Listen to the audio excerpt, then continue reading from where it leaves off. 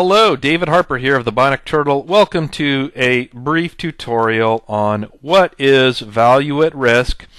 I get this question a lot as I teach the FRM curriculum. Value at risk is very much at the heart of the FRM curriculum, despite all of its shortcomings, which lately have been well publicized.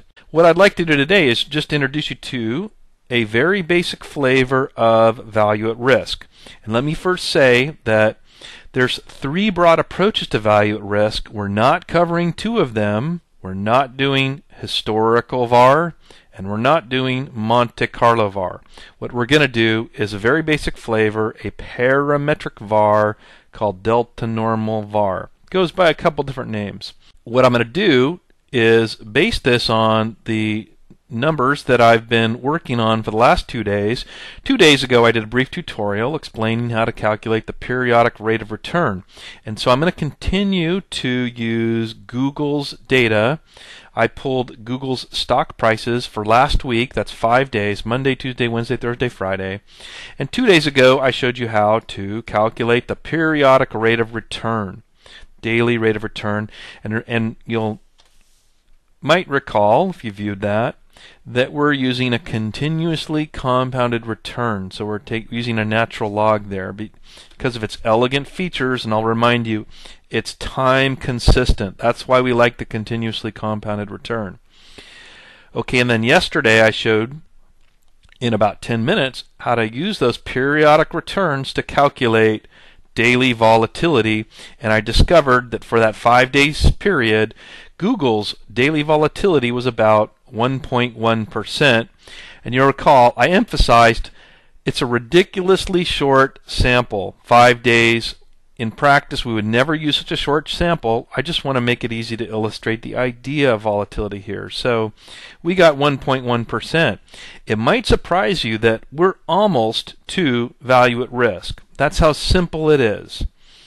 We've now that we've got a volatility, we're just a short hop and a skip to value at risk. What do I mean? Well, what I mean is we're doing parametric value at risk.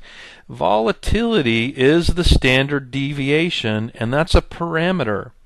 And so let me get my, let me pull up here a plot of what we could call the normal bell curve or the normal distribution. This is a density uh, plot or a probability density function of the normal distribution. So I'm sure you've seen this before. And this is a normal distribution that reflects the two parameters that we've calculated from Google's data. And the nice thing about the normal distribution is it only needs two parameters. That's how that's part of its elegance, that's part of its charm, and why we find it all over uh, the finance curriculum. Well, that's not the only reason. The the, the real key reason is the uh, central limit theorem, but I won't go into that. But the um, what I know about the Google data is it has an average of 0.71 percent I'm sorry, negative 0.71%. So that puts the mean right here. That's where the curve peaks. And then the volatility or standard deviation is 1.1%. That is the so called second moment or a measure of dispersion. And so this plot does reflect a standard deviation of 1, 1.1%. So that's a measure of its dispersion. These two parameters, the average or mean and the volatility or, or standard deviation, fully describe this normal distribution. So that's a double edged sword, though, because on the one hand, consider how elegant that is. I only need those two pieces of data to make my distributional assumption. The other side of the coin on that is, well, I've made a simplification that I know right out of the box is not realistic about the returns. Now, what is VAR? Well, for percentage VAR, it's very simple.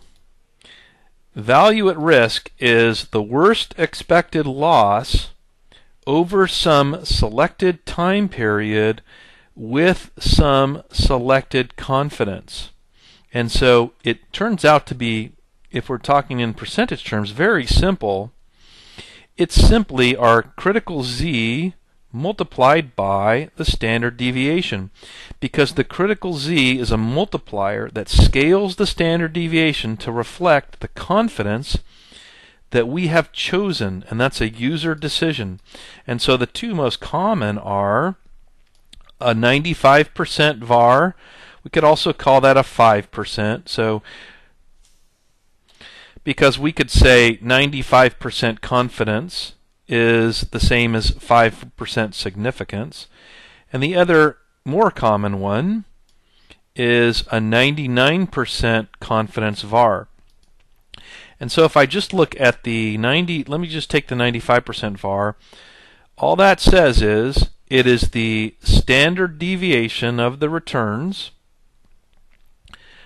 multiplied by the critical z that reflects a 95% confidence. And so to show you that what I mean by that graphically, oh, I'm going to tuck it here in the corner. What we mean by that graphically is that if we say 95% var, we want, if this is the distribution that reflects our assumption about the distribution of returns, we want to identify the point here on the curve such that 95% of the area is to the right and 5% is to the left because that means if we get that point right, that means that in only 5% of the cases would our losses be exceed that level. So that's what a VAR is. If we say 99%, we're saying 99% of the time the losses are going to be over here to the right and only 1% will the losses exceed that number. So note an important shortcoming. It doesn't say anything about the magnitude of those extreme losses beyond the VAR. VAR says nothing about losses in excess of VAR. So that's what we want.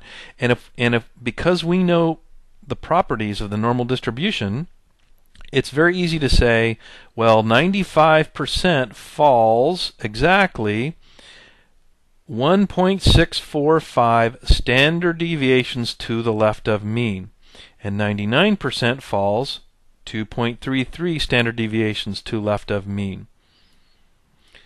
So if I go back here, in Excel, that would be a norm SINV function, and I could say 5% that gives me the critical value that corresponds to 5% or 95%.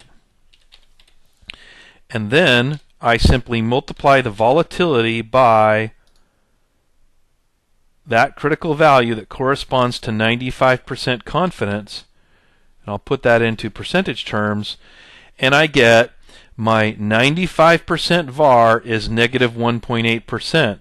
So uh, to say that again, if the volatility or standard deviation is 1.1%, then I have 95% confidence that my worst loss won't exceed negative 1.8%, which is 1.1% multiplied by my critical values. That's why I like to say that VAR, this parametric VAR, is nothing but the standard deviation scaled. And that scaling is just a function of the two decisions we make. What's the time period and what's the confidence? I didn't do anything with time period here because I'm talking about daily in all respects. This is a 95% daily VAR, but I did select the 95% confidence. If I wanted to make it a 99% confidence, I would make a 1% here, and then my 99% confidence VAR becomes negative 2.55%. And really, that introduces the basic flavor of parametric or delta normal value at risk. So I hope this was helpful.